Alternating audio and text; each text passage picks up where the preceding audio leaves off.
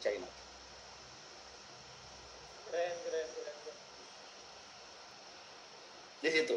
Jadi ketika berpikir sebuah pemikiran founder itu melihat entry mas masuknya sih boleh sepele.